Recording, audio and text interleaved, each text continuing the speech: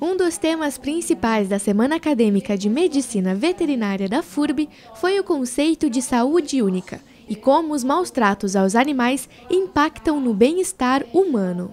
Hoje nós temos um conceito muito amplo que envolve a saúde humana, a saúde animal e a saúde ambiental, que é o conceito de saúde única. Partindo disso, nós entendemos que são, é uma união indissociável, que nós não temos como separar e, inclusive, para que a gente consiga resolver essas questões, nós precisamos de uma equipe multiprofissional, que aí se insere o médico veterinário. Né?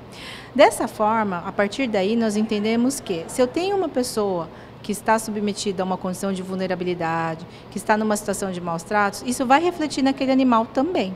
Então, porque é o núcleo familiar que está exposto, né? aquele ambiente todo que está comprometido. Da mesma forma, se eu tenho um animal que está sofrendo maus tratos, é, e que as, as pessoas que convivem com ele. Né? Toda uma sociedade que entende que essa situação não é tolerada e que, portanto, se encaixa numa, numa condição de crime ambiental ou numa condição que precisa ser resolvida. Né? Então, a, essa relação acontece dessa forma. Então, o envolvimento ele já está estabelecido. Eu não tenho mais como separar, não tenho como entender que o animal ele, ele acontece, é, que a, a vida né, daquele animal está lá de forma isolada e não tem relação com ninguém. Então já existe uma relação estabelecida de forma que, se um elo dessa cadeia está é, sofrendo ou está com essa saúde comprometida, eu tenho uma, um comprometimento geral daquela saúde, é, daquele núcleo.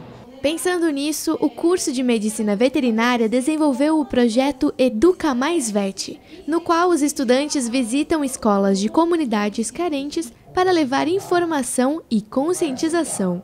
A gente tem uma didática bem diferenciada com as crianças, a gente tenta fazer de uma forma bem na questão de brincadeira, mas claro que sempre com buscando trazer os conceitos que a gente tenta proporcionar para eles. Então a gente faz desde brincadeiras com balões, é, cruzadinhas e claro que com a comunidade a gente tem que ter todo um cuidado, né, quando vai abordar essa comunidade para tentar mostrar para eles uma outra realidade, né, que infelizmente a realidade que eles estão inseridos talvez não seja a ideal, mas é a realidade. Então a gente tenta ver de que forma a gente consegue sugerir ou até tentar melhorar de alguma forma aquele ambiente, tanto para o homem, né, para o humano, quanto para o animal que estão ali inseridos. Uma das escolas que recebeu a visita dos estudantes foi a Hermann Hammann, localizada no bairro da Fortaleza, em Blumenau. Quatro turmas de diferentes fases tiveram uma aula diferente, aprendendo a forma correta de tratar os animais, sejam eles domésticos ou não. E você tem algum animalzinho? Tenho um gato e um cachorro. O, os gatos são Luna e Relâmpago, os cachorros são Malha e Lili. O que, que você aprendeu com essas aulas? Que não pode bater nos animais, não pode maltratar eles, tem que sempre levar eles no médico, no veterinário. Se não acontece o quê? Eles morrem, ficam bravos. Alimentar os bichinhos. Cuidar bem deles. Sim. Olha, foi muito legal, né? E vocês têm animaizinhos? Eu não tenho até. Não. E você não tem vontade de ter? Tenho. E quando você tiver, você vai cuidar bem deles? Sim. Aqui eles trazem esses conceitos de bem-estar animal, né? É tudo em base da, de uma metodologia da problematização, que eles tentam modificar a realidade com base em problemas encontrados aqui. Então a gente divide em duas em dois períodos. No primeiro dia, eles trabalham pós-responsável, bem-estar animal.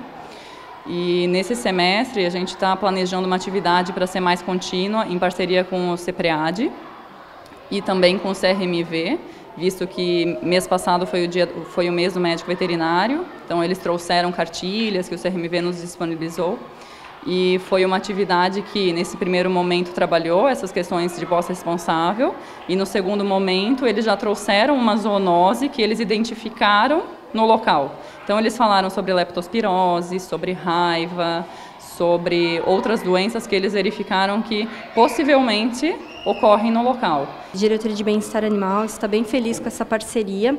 É, esperamos que vamos abranger toda a cidade aos poucos, com as fases do curso de medicina veterinária. Hoje a gente está integrando os alunos de terceiro ano e de oitava fase.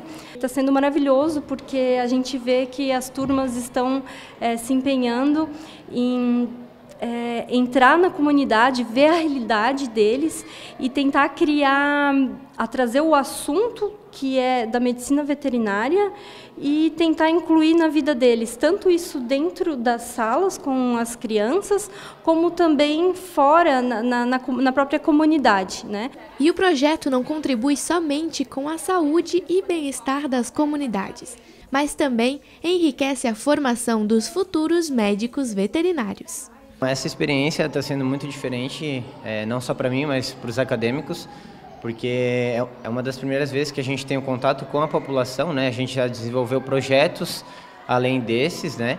Com a FURB, com parceria é, com a FURB.